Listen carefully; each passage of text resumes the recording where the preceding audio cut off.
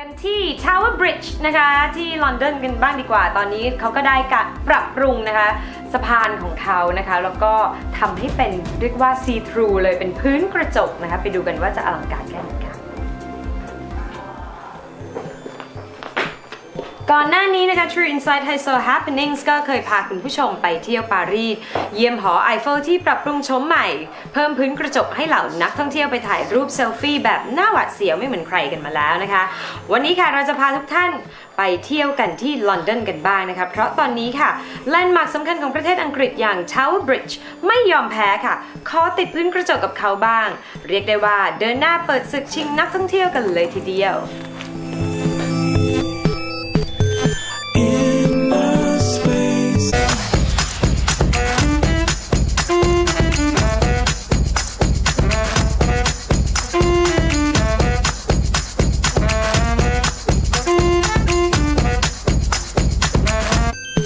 อย่างที่เราทราบกันดีนะคะว่า Tower Bridge นั้นก็เป็นสะพานเก่าแก่ที่เป็นสะพานสองชั้น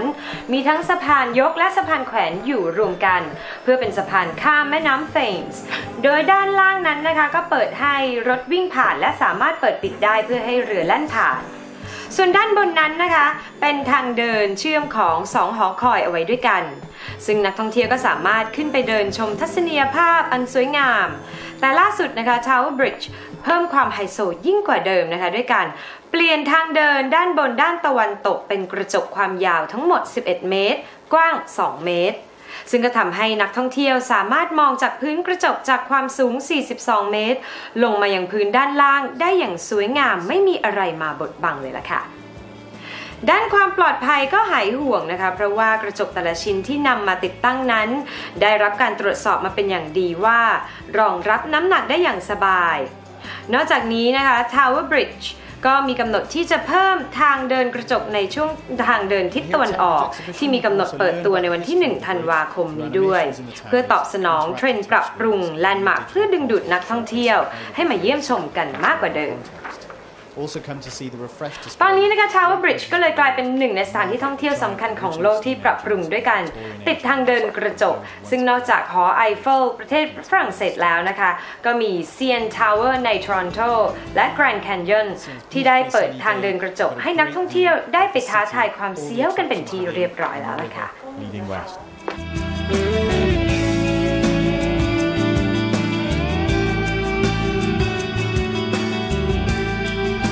รที่กลัวความสูงนะคะ ก็อย่าไปเดินตรงนั้นนะเสียว แล้วก็ผู้หญิงก็อย่าใส่กระโปรงไปนะคะ เดี๋ยวคนจะมองขึ้นมาเห็นค่ะสำหรับช่วงนี้หมดเวลาแล้วกับ High Soul Happenings นะคะ และชุดพิธีกรวันนี้ขอขอบคุณ The Only Sun ค่ะสำหรับช่วงนี้แพนลาไปก่อนสวัสดีค่ะ